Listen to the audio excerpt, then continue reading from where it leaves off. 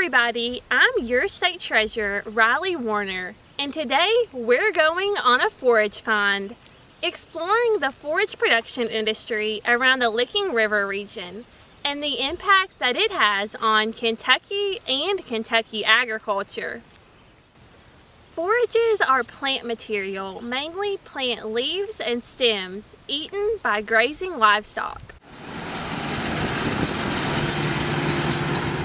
Today I'm here with Jeff Stevens, former FFA member and Fleming County farmer who produces alfalfa hay for horse farms in the bluegrass and produces beef cattle right here in Fleming County. The two main products we produce here is uh, uh, we produce beef cattle and uh, we produce grass hay for our beef cattle and then we produce alfalfa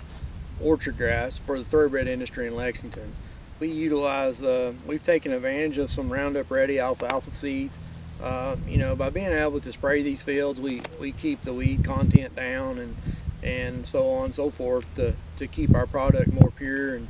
and, uh, and and a more of a consistent product for our customers.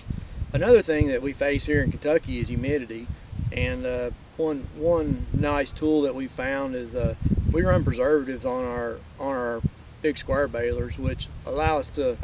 bale at a little bit higher moisture but uh, reduces the risk factor of mold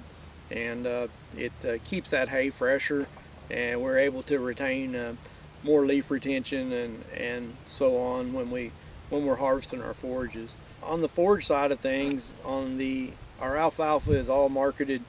around Lexington, Kentucky to the thoroughbred industry and yeah, that's uh, that's 100% of our, our market for our cash hay.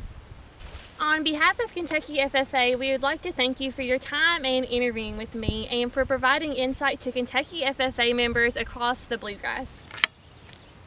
Over 6 million acres in Kentucky are made up of forages or grazeland forages, leading Kentucky to be ranked 7th nationally for all forage production.